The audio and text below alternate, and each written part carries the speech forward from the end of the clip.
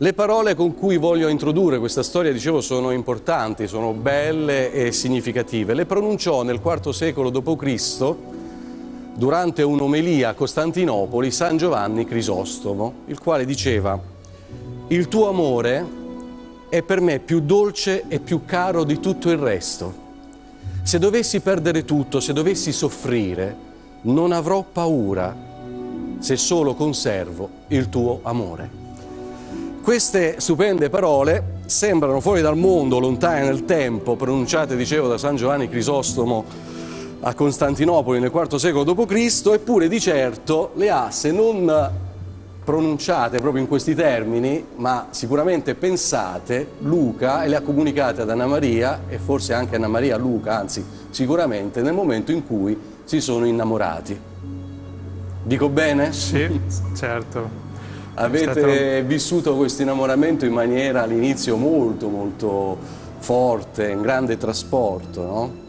Eh, quando ci siamo conosciuti effettivamente eh, ho proprio perso la testa, non vedevo altra persona che lei e queste parole secondo me proprio mi sono entrate nel cuore e probabilmente uscite anche dalla bocca. Anna Maria conferma? Sì. Per me è stato un po' più lento l'innamoramento, non è stato proprio il colpo di fulmine, però io vedevo in Luca tante qualità che io non avevo e, e così proprio mi sembrava che fosse una parola per me, mandata per me. Luca e Anna Maria, innamorati, sposati, tre figli, poi i litigi furiosi, il tradimento, la separazione, tutto finito come tante storie che naufragano con tante separazioni che finiscono in quella che oggi sembra essere l'unica ineluttabile, inevitabile conclusione, il divorzio. Ma per voi non è stato così. Perché Luca e Anna Maria invece eh, li troviamo di nuovo insieme qui eh, in seguito a quella che io ho definito in apertura lanciando la vostra storia una sorta di miracolo. Poi vedremo qual è stato questo evento anche straordinario, come si è concretizzato. Ora però partiamo, se non vado errato, dal 1984, e cioè da quell'innamoramento folle di cui mi ha colpito, per esempio, ho letto le corse nella neve, sfidando le intemperie, vero Luca?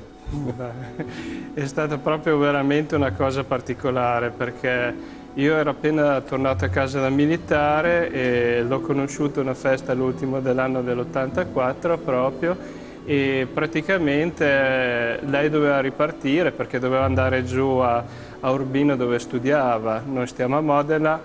Quell'anno è venuta un'abbondante nevicata veramente grande e io praticamente, eh, lei è rimasta bloccata da, col treno da, dalla neve, non passavano più i treni e io andavo a trovarla praticamente dall'altra capo della città in motorino e non avevo ancora la macchina e praticamente c'era sempre tutta questa neve e, e oltretutto i suoi genitori che non è che mi guardassero troppo bene. Ti prendevano un po' come un pazzo insomma. No? sì, sì, sì. Uh, dopo il matrimonio Luca tu hai detto che mi sembrava di vivere in paradiso, uh, però poi dopo la nascita del primo figlio Francesco, le prime incomprensioni, poi sono arrivati Davide e Letizia, alla fine è, quasi diventato un inferno la vostra vita. Uh, Anna Maria, com'è possibile passare da una situazione di grande fusione, di grande unione, di amore, di estasi, di paradiso, cadere invece in una sorta di inferno? È stato che piano piano noi ci siamo suddivisi i ruoli. Io ero a casa con i bambini e Luca andava al lavoro tutta la giornata e quei pochi momenti che avevamo alla sera per noi eh, facevamo fatica a dialogare, a comunicarci le cose. Piano piano queste incomprensioni eh, su come fare le cose quotidiane di tutti i giorni eh, sono diventate sempre più aspre fino al punto che io non mi confidavo più con lui, dicevo decido io faccio da sola, mm, tanto lui non mi capisce, non mi sentivo ascoltata.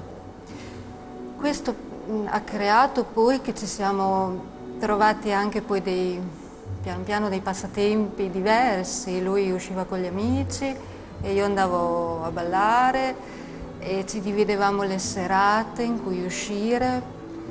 Eh, io per trovare così mm, uno sfogo, un modo di sentirmi valida, poi ho ricominciato a lavorare dopo un po' di tempo, quando i bambini erano diventati grandi. Ma eravate consapevoli che vi stavate allontanando in quel periodo? Cioè eravate consapevoli del rischio che stavate correndo, della frattura che si stava creando? Onestamente all'inizio pensavo, lei dedicava moltissimo delle sue energie ai figli come giusto, io ero contento di questo perché era anche una, una brava mamma che teneva dietro i nostri bambini. Era la sua deciso, missione anche, esatto, insomma. Avevamo deciso di, proprio insieme, che lei eh, eh, terminasse quello che era il suo lavoro e dedicasse proprio tutte le energie ai figli. Però praticamente io pensavo che lei dopo passato il, il, periodo che i bimbi erano piccoli eh, tornasse un po' a, a, considerarmi un po' di più come marito e non solo come papà. E questo invece non c'è stato, anzi proprio nel momento in cui i bimbi iniziavano a crescere ha dedicato le sue energie altrove mm. e, e questo appunto sì. Io sono rimasto ferito. Nel 2000, tu hai detto, piano piano siamo giunti ad essere scapoli sposati, sì. è terribile ma molto significativa questa definizione. E nel 2004 Anna mi ha detto che non mi amava più. E a quel punto tu hai provato un senso di sgomento, quasi come se ti sentissi tradito, no? Sì. Eh, non te l'aspettavi? Mi è proprio crollato la terra sotto i piedi, io avevo dedicato tutta la mia vita e ci credevamo e adesso ci crediamo ancora, a questo matrimonio, eppure eh, in quel momento lì io ho detto cosa ho fatto, cosa ho combinato in questi vent'anni, cioè ho buttato via la mia vita, proprio una sensazione di fallimento più completa. Anna Maria, voglio tornare un secondo su quella, sulla questione mh, eh, di questo periodo uh, che vi ha allontanati, no? dopo il matrimonio, dopo l'arrivo dei figli, cioè questo fatto appunto di dedicarsi sempre di più ai figli, alla casa e poi al lavoro e, nel, eh, e mettere in secondo piano il rapporto coniugale. È eh, diciamo un errore che ormai è, è, risaputo al giorno d'oggi, cioè anche se si va dal più banale degli psicologi lo mette subito in evidenza questo aspetto, cioè il fatto che eh, questo può essere la causa di una frattura, di un allontanamento. Com'è stato possibile per te cadere in questo errore? Per te e per voi, insomma? Quei pochi momenti che ci prendevamo per noi per me non erano sufficienti e non erano di qualità. Mm. Mi aspettavo di essere ascoltata come avevo visto nella mia famiglia d'origine. E questo modo di comunicare profondo, intenso, non c'era tra noi, non era spontaneo. Mm. Dopo abbiamo imparato ah, a, a comunicare, ma al, in quel periodo io non sapevo comunicare, non sapevo parlare in modo da riuscire a farmi capire da Luca il tono di voce anche. Quindi è un problema proprio di strumento di comunicazione sì, anche sulla esatto. quale bisogna lavorare, poi vedremo come. Un sabato sera verso la fine di gennaio 2005, sono sempre parole tue Luca, quando racconti la tua storia, abbiamo litigato furiosamente, non ne potevo più, sono uscito di casa e sono andato a vivere a casa di mia madre. La ragione del litigio è stata banale, però è stato un litigio cruciale. È stata banale la ragione del litigio perché eh, praticamente aveva litigato a proposito dei compiti di nostra figlia e di come, come, svolgerli. Spesso il problema dell'educazione dei figli è un motivo esatto. di scontro no? tra sì, moglie e marito. Era un grosso motivo di scontro perché io eh, intendevo educarli in un modo, lei eh, però eh, vedeva il mio modo molto duro di educare i figli e appunto prendeva un po' le loro difese. Quindi sminuiva la tua figura agli occhi dei figli? C'era anche sì, questo sì, rischio? c'era anche questo rischio, però non era sì, che... io ho fatto questo, io lo contraddicevo mm. quando lui sgridava i bambini. Tentavo di occuparmene io il più possibile. e questo è sbagliato secondo te? Certo che è sbagliato, perché i bambini hanno bisogno della figura del papà altrettanto come di quella della mamma. Di più, hanno bisogno di vederci insieme. E perché tu cadevi in questo errore? Io avevo una gran paura, avevo paura per loro. Eh, paura della, di cosa, scusa? Del, del, essere traumatizzati dal tono di voce, dalla, dal modo di porsi del papà. E, e non è giusto avere questa paura? Eh, la paura è un sentimento, non è né giusto né sbagliato, però si può affrontarla, si può discuterne insieme, parlare e vedere come educare i figli insieme però. Certo. Questo poi lo abbiamo fatto.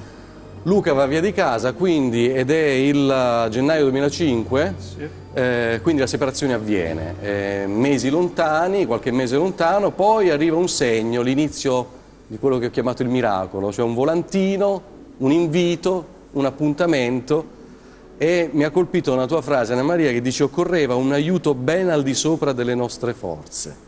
Sì, c'erano tante ferite che non erano neanche state dette mm.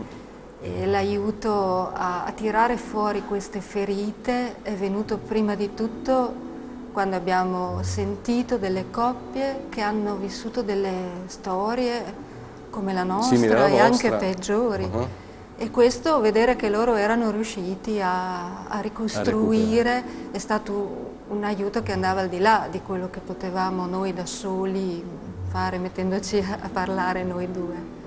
Questo volantino, questo invito veniva da Retrouveil, ovvero ritrovarsi, no? dal francese, che è un'associazione che si capisce subito, poi ve la spiegherete meglio, eh, crea proprio questo collante fra coppie in crisi o separate addirittura e invita nuovamente a ricreare, a ricostruire un dialogo, adesso vedremo come.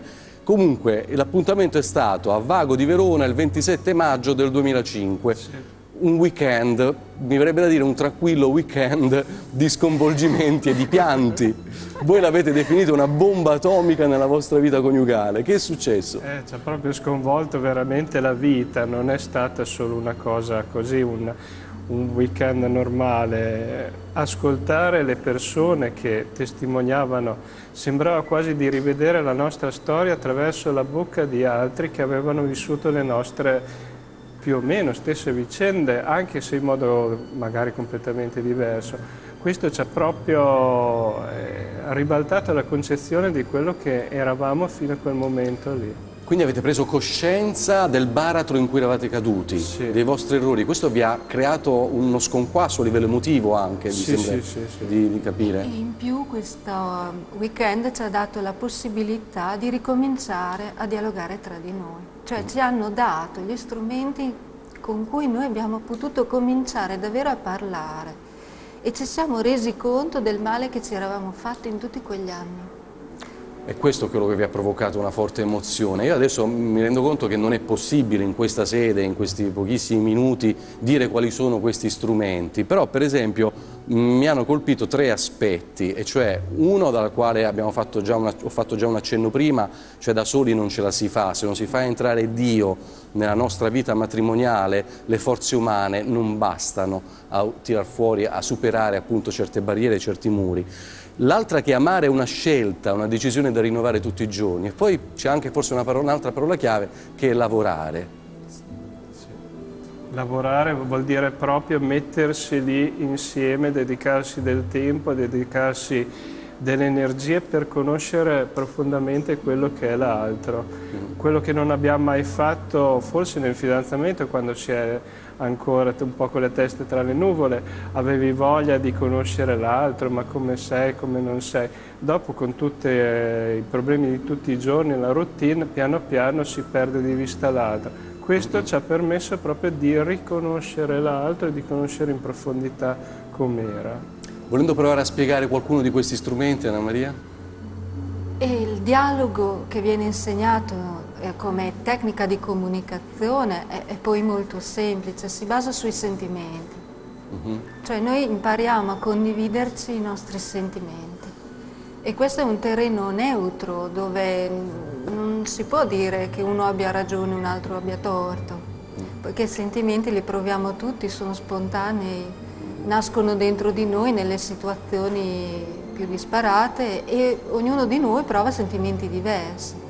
Imparando a condividerci questo aspetto della nostra essere, stiamo su un piano neutro per cui possiamo davvero condividere la nostra profondità, quello che siamo, come viviamo le cose e capiamo che l'altro è molto diverso e impariamo a rispettarlo. Certo, e il weekend, a cui poi seguono dei post weekend, poi naturalmente un percorso costante, perché è chiaro che non è che un weekend può da solo risolvere magicamente, non c'è nessuna magia, c'è un desiderio di aprirsi e di condividere, come dicevi tu Anna Maria. Però poi dopo un anno e mezzo da questa ritrovata unione, tu Luca hai avuto il coraggio, la forza di confessare ad Anna Maria un tradimento. Sì. E Anna Maria ha avuto la forza, il coraggio, non so come altro definirlo, di eh, accettare questa tua apertura. Cioè un'altra persona umanamente, sottolineo umanamente, al posto tuo avrebbe detto questa è la goccia che fa traboccare il vaso, nuovamente la ferita si riapre, veramente adesso quella è la porta, esci fuori, no? Sì, ma è, è stato un periodo, e Luca ha avuto l'accortezza di aspettare che ci fosse fiducia nel nostro rapporto, che fosse una relazione più stabile e che potesse reggere questo colpo. Quando la nostra relazione è stata abbastanza aperta, stabile, piena di fiducia, lui ha potuto dire ci, ci manca un pezzo, cioè io mi apro a te completamente, mi metto nelle tue mani. Perché a quel Questo è stato lì... il motivo per, mm, che ti ha portato a confessare questa cosa, non semplicemente un voler dire un aspetto che potevi tenere segreto, ma proprio il voler essere aperto completamente. Sì, doveva esserci una fiducia totale tra di noi perché avevamo capito che questo è quello che creava veramente quell'intimità e quell'amore che può eh, far rinascere proprio anche il sentimento dell'amore e può far rinascere veramente la coppia com'è fino in fondo, c'è la fiducia di essere due persone certo. che, che, aperte senza trasparenti senza ombre. Esatto. Eh, un aspetto non abbiamo ancora affrontato, in un minuto proviamo a dire quelle cose più significative, i figli. I figli avranno, immagino, sofferto moltissimo la separazione, forse si saranno anche autocolpevolizzati perché so, non per esperienza grazie a Dio, ma insomma uh, so che può avvenire una cosa del genere, però poi quando tu Luca sei tornato a casa, come hanno reagito? Eh beh, I figli non credevano ai loro occhi quando gli ho detto che eh, ero tornato a casa per restare a casa con la mamma e che avremmo tentato di, di ricostruire la nostra relazione. Loro avevano sofferto veramente tanto, si erano chiusi moltissimo e quasi non litigavano più tra di loro. Per impedire che questo potesse diventare un motivo di ulteriore frattura. Di qual è, Anna Maria, lo chiedo ad entrambi, ad Anna Maria e Luca, qual è la frase dei vostri figli che più vi ha fatto soffrire e quella che vi ha dato più gioia in questa parabola che avete vissuto?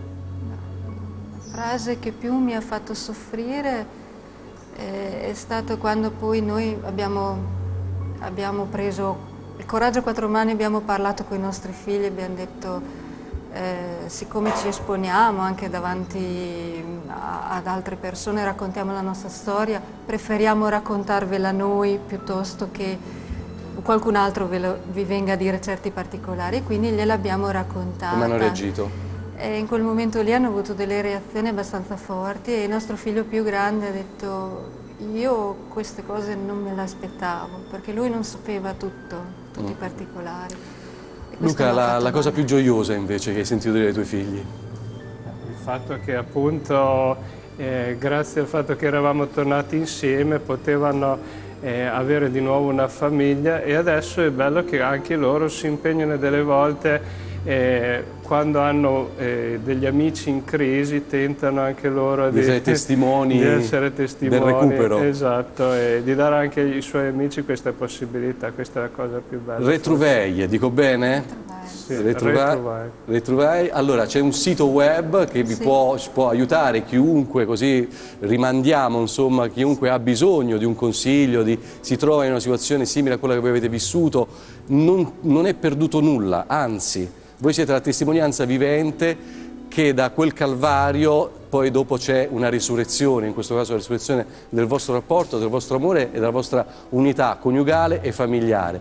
È un sito sul quale si possono trovare tutte le informazioni per questi famosi weekend bombe atomiche, come emotive, come le avete definiti. Io prima di eh, vi ringrazio per la testimonianza che ci avete dato, seppure Grazie. con parole sintetiche ma molto efficaci, che so che continuerete a dare. Grazie. E ehm, una brevissima pausa, vi lascio però con queste parole di uno scrittore francese, François Mauriac, che forse conoscete e che sicuramente sono sicuro piaceranno anche ai nostri amici a casa. L'amore coniugale che persiste attraverso mille vicissitudini, mi sembra il più bello dei miracoli, benché sia anche il più comune. A tra pochissimo.